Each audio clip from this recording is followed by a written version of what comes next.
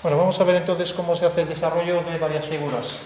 Tenemos que el desarrollo no es más que coger, por ejemplo, si tenemos una pirámide, imaginamos que la pirámide, por ejemplo, sea truncada, no tiene por qué tener forma rectangular. Hay un teorema de geometría que dice que si yo corto una pirámide por un plano paralelo a la base, esta figura es semejante a la de la base, que quiere decir que tienen igual forma, aunque distinto tamaño, ¿no? son proporcionales. ¿vale? Bueno, pues hacer el desarrollo de esta figura no es más que coger, hacer el giro de las caras, o sea, giramos esta cara, de manera que entonces la cara nos vendrá para aquí. Hacemos este otro giro y vendrá para aquí. Aquel giro de aquella cara y lo mismo con esta de aquí. Una vez que giro esas caras, pues también puedo girar esa forma rectangular y ponerlo de forma que al desplegarlo, si ahora quito la pirámide, tengo esto y lo doblo por estos las dobleces se suelen poner así, ¿no? Depende de la normativa, Entonces, si lo doblo, puedo construirlo. ¿Qué pasa? Yo no puedo coger este rectángulo, que es este, aquí desplazado, y por ejemplo colocarlo aquí, porque no podría construir la figura, ¿no? Entonces lo que sí hay que tener mucho cuidado, dónde ponemos las caras para poder desplegarlas, ¿vale? Es una cosa de lo más elemental, ¿no? Por ejemplo, si yo hago un cubo, pues el cubo está formado, por ejemplo, por una cara, dos caras, tres caras y cuatro caras, ¿no? Bueno, y de repente, ¿dónde pongo las caras superiores? Pues la puedo poner aquí, por ejemplo, y la puedo poner aquí. Ahora, lo que no puedo hacer, por ejemplo, es poner esta cara aquí arriba, así. Porque así no hay forma posible de recortar esto y construir un cubo, ¿no? Entonces, lo primero que hay que entender es dónde tengo que colocar las caras, una vez que lo despliego, para hacer el desarrollo, ¿vale? Y ahora lo que habrá que saber es cómo abatir estas caras, de manera que esta obtenga aquí la verdadera forma de la cara. entonces vamos a ver eso. En el caso del prisma es elemental, en otras figuras ya se complica un poco más, y en las superficies curvas pues todavía un poquito más, y hay que saber pues, el desarrollo, rectificación del prisma. Entonces, en el caso del prisma, tenemos por ejemplo un prisma en diédrico. Entonces, con una orientación cualquiera que tengamos, por ejemplo esta, vamos a ponerlo así. Este prisma lo proyectamos aquí en sistema diédrico y tenemos aquí entonces estas aristas, esto apenas me está dibujando.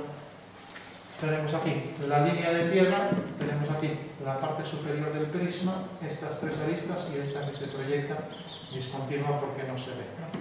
Y luego tenemos aquí abajo la proyección en planta de la figura, que es casi, supongo, como ya decís, el ejemplo que casi todos habéis cogido. ¿no?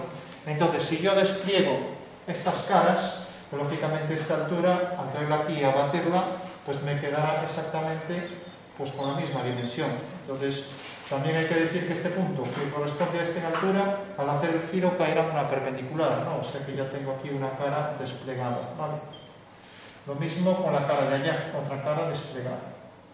O sea que lo único que habrá que hacer es ir colocando las caras una al lado de otra. Si nos fijamos aquí al lado de esta cara hay dos anchas y luego aquí arriba pues habría una estrecha con la misma medida, o sea que puedo hacer centro aquí y hacer un giro hasta que me corte y tengo aquí entonces esta figura. O sea que mediante este giro obtengo aquí este punto. ¿no? ¿Qué quiere decir eso? Que esto es igual que esto, o sea que si despliego esto, la altura de esto pues tendrá que ser igual que esto y será igual que esto.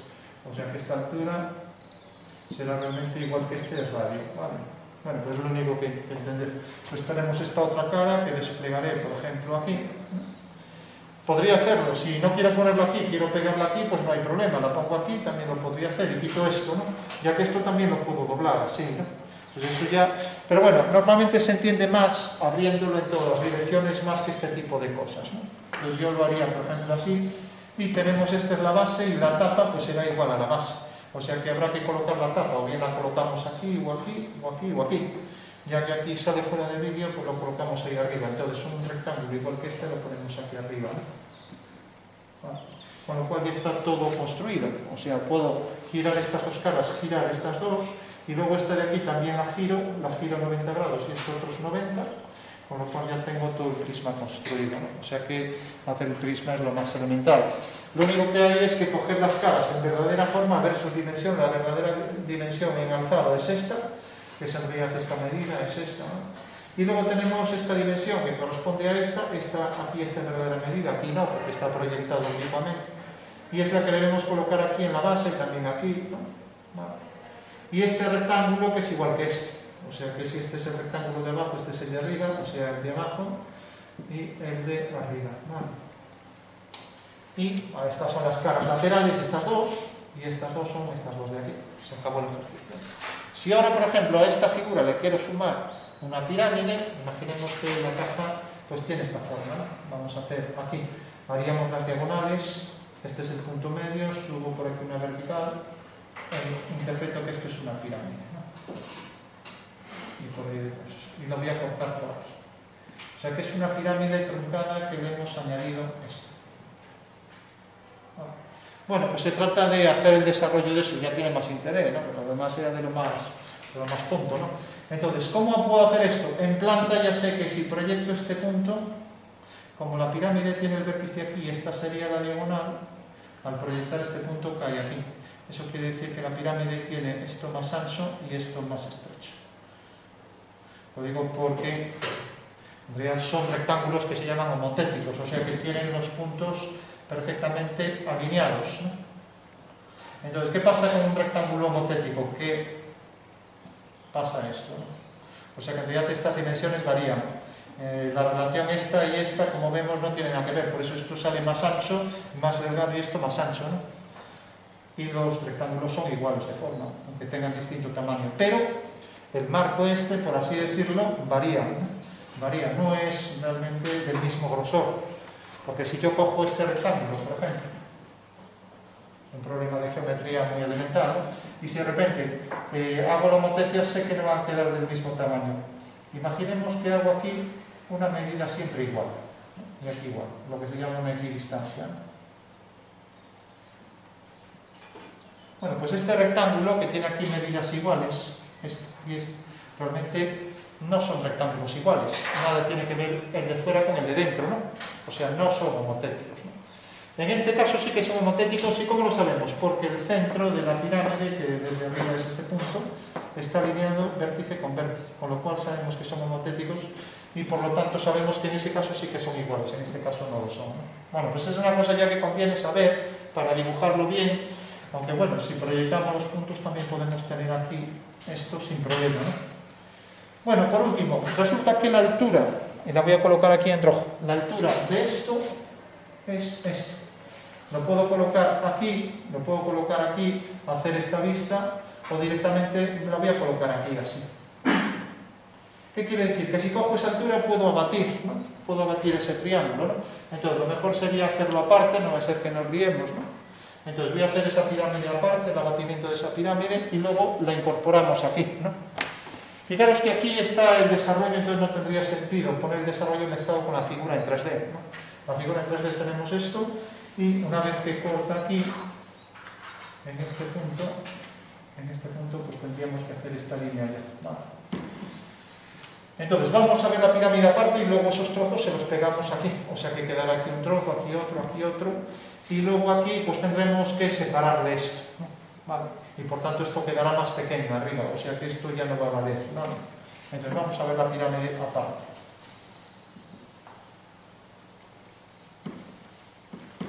Entonces cogemos la medida de la pirámide, ya la ponemos aquí, es más fácil ponerla en esta proyección, es mucho más sencillo.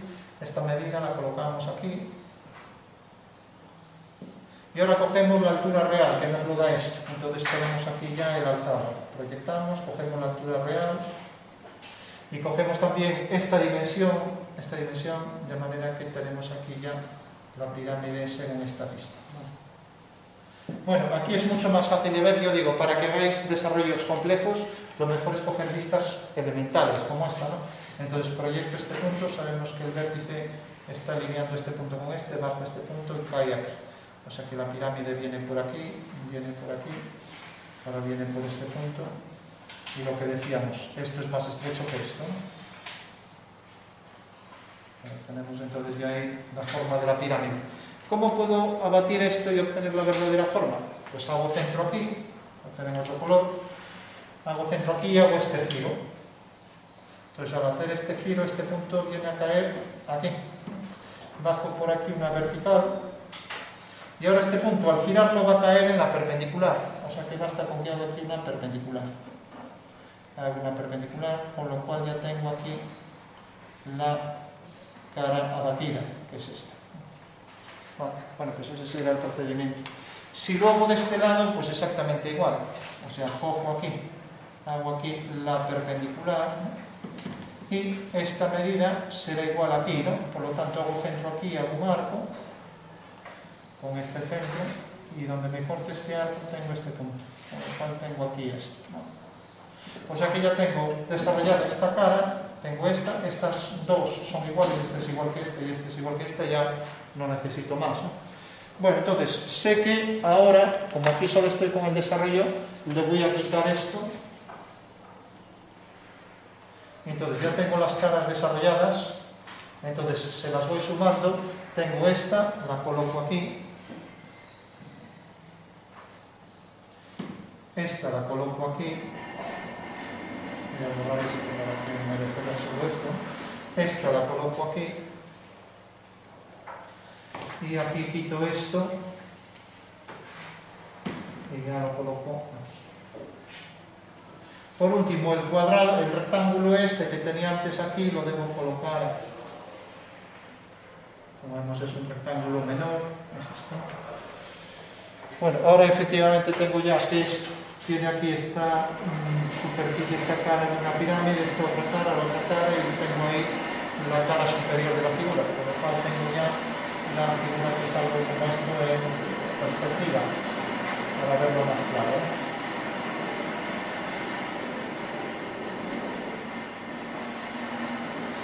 Bueno, el mercado impone que este tipo de cosas un poco más complejas no se vienen haciendo en cajas, a no ser que sea una caja, pues eso, que quiera guardar algo interesante, y, pero esto sería muy caro de construir, ¿no? hacer todo este cálculo, pero bueno, Aquí eh, lo que interesa es la complejidad en estos ejercicios, entonces prefiero que se hagan cosas más interesantes como esta que se haga el prisma y nada más. ¿no? O sea, salir un poco. Aparte yo, el tema creativo, bueno, se mira más bien a otra asignatura, pero también más creativo es aquello que difiere de lo general, ¿no? aquello que es original, que en realidad aporta valores nuevos que se utilizan más la imaginación para la construcción. ¿no? Entonces, bueno, si la superficie es más interesante, más compleja, tiene curvas, o, bueno, pues más interesante. El otro día ponemos el ejemplo de que en vez de, tuviera esto, de tener esto aquí arriba, pues por ejemplo, pues tuviera aquí un cilindro. O otra forma, por ejemplo, una forma muy fácil de desarrollar, una caja muy original y muy sencillita, sería esto, por ejemplo.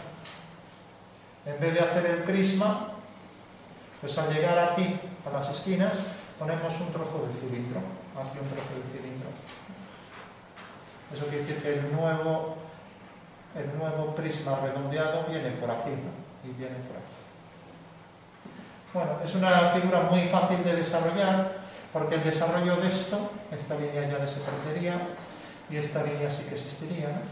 El desarrollo de un cilindro, pues sabéis, es el desarrollo, aquí lo que se llama la rectificación de la circunferencia y todo el mundo sabe que la longitud de la circunferencia es, que alguien me lo diga, 2 pi r. Eso quiere decir que como esto es un cuarto de la circunferencia, pues será 2 pi r partido 4. O sea que lo único que tenemos es que coger este radio, ¿no? esto ya desaparece, coger este radio, ponerlo aquí y ya tenemos el cálculo de este desarrollo. Entonces, si hacemos, si hacemos eso, pues ya podemos hacer la base de la figura, sería esto, aquí la forma redondeada, recto y redondeada, redondeada, recto y redondeada. Y luego el desarrollo de todo esto, que estará formado por la unión, o sea, el perímetro de estos cuatro segmentos más estos cuatro que en realidad no necesitamos hacer el cálculo. ¿Por qué? Porque si sumamos los cuatro ya es la circunferencia. O sea que directamente esto va a ser el desarrollo de la circunferencia. Tendremos que sumarle estos cuatro, o sea, este más este es este pequeño más el pequeño, y luego, aparte de estos cuatro, tenemos la circunferencia completa, que es 2 pi r. O sea, esto, el radio multiplicado por 2 pi, lo que es lo mismo, 2 pi r sería, r por 2 es el diámetro, diámetro por pi. Y el diámetro es esto, o sea, el diámetro 3, 14 veces. Lo sumamos aquí, 1 vez, 2, 3, 14, y este es el desarrollo de esa figura, ¿vale? Con lo cual sería muy sencillo y sin embargo la caja es llamativa. Lo que pasa es que luego aquí La parte superior ya es más compleja, ya que tendría que ser un trozo exactamente igual. Porque si ahora le doy curvatura por aquí, estoy con una esfera y ya no es desarrollado. Entonces, la tapa debería ser algo como estos. Podría ser cónica también, arriba. O sea, hacer aquí un cono, pero bueno, ya sería muy complicado porque es un cono adaptado a esto, ¿no? Cuando hay que desarrollar una superficie irregular, cónica, por ejemplo así, entonces nadie va a hacer cálculo integral para calcular la longitud de la curva. Entonces lo que se hace son coger con el compás estos trocitos e ir sumándolos. En todo caso, si alguien lo hace con cálculo integral, hay una fórmula sencilla que se puede aplicar. Bueno, vamos a ver algún ejemplo más sencillo, bueno, algún otro ejemplo para que no sea siempre lo mismo. Tenemos el prisma, tenemos la pirámide,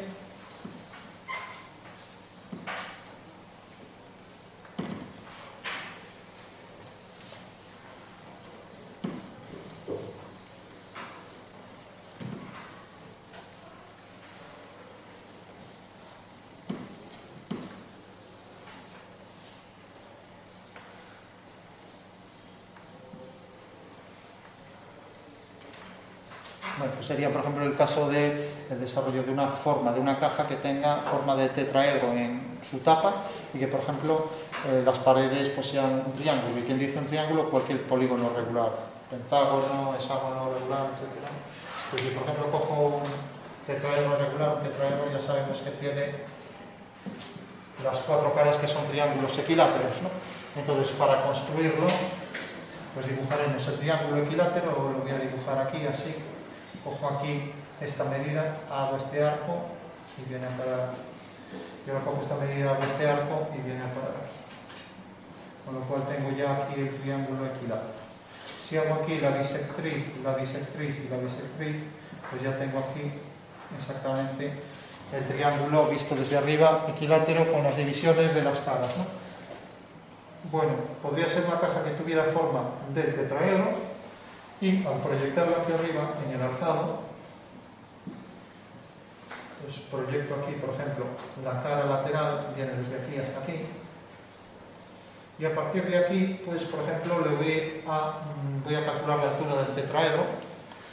Entonces, como sabemos que el vértice viene por aquí, el vértice del tetraedro viene por este punto, entonces hago una línea vertical y como sabemos que si giramos este triángulo va a cortar aquí, entonces coloco aquí la dimensión del triángulo, es esta, esta dimensión correspondiente a la altura, la coloco aquí.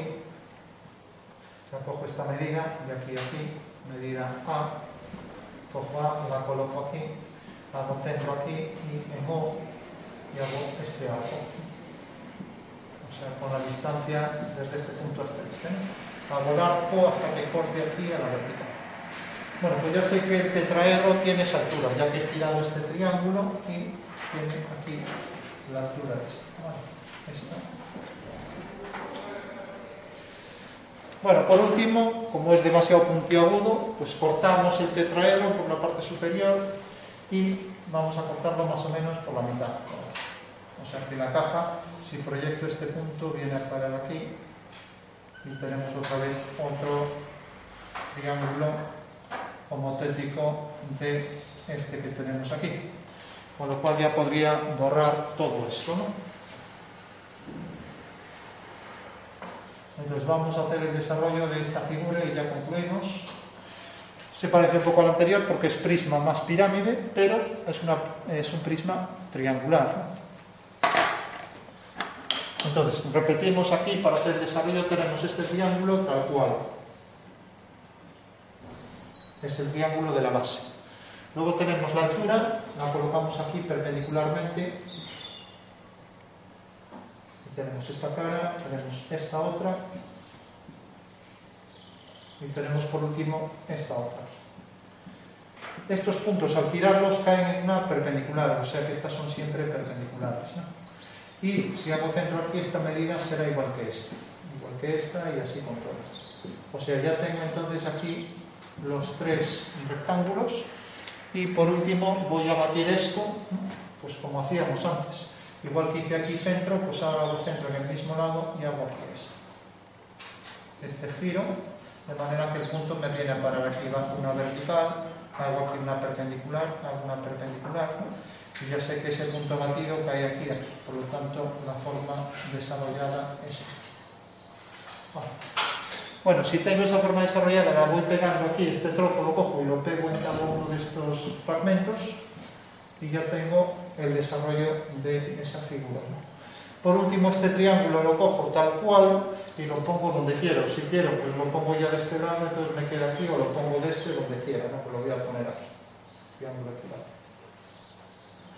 Bueno, pues esa es la figura ya desarrollada con todas las caras. Tenemos las caras laterales, la base, las caras en pendiente con inclinación y luego tenemos la cara superior que es esta.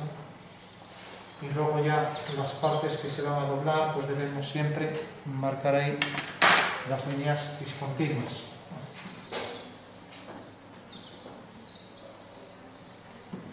Y lo mismo aquí